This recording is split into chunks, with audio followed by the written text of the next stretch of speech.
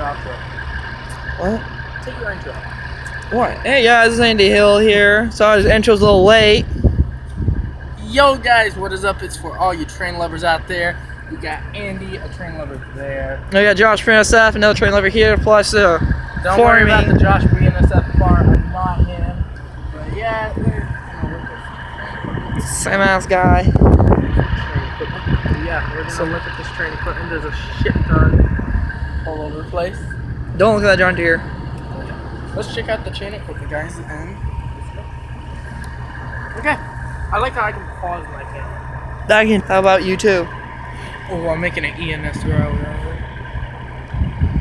Your face completely. You said that. So